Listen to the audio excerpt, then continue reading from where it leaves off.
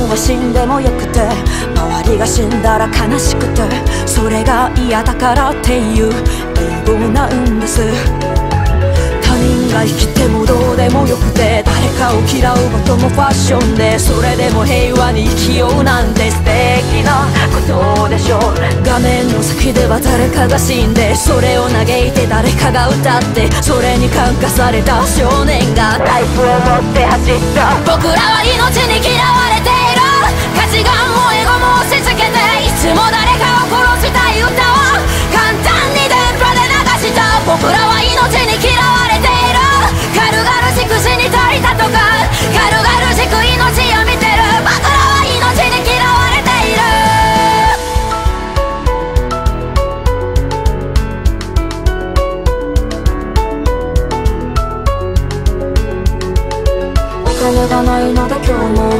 一日中ダミを犯する。生きる意味なんて見出せず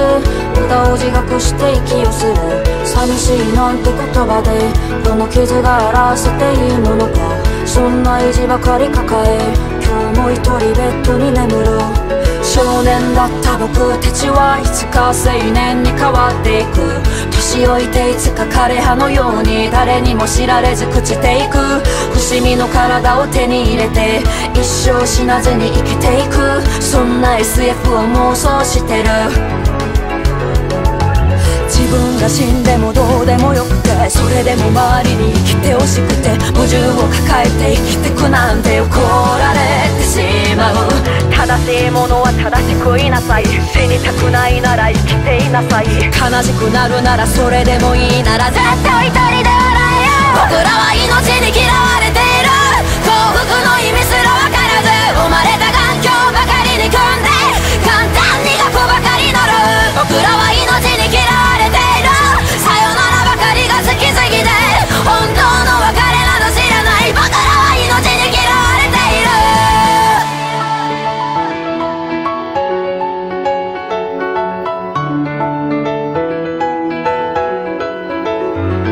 幸福も別れも愛情も友情も急な夢の戯れで全部金で買える代物。明日死んでしまうかもしれない。全て無駄になるかもしれない。朝も夜も春も秋も。変わらず誰かがどこかで死ぬ夢も明日も何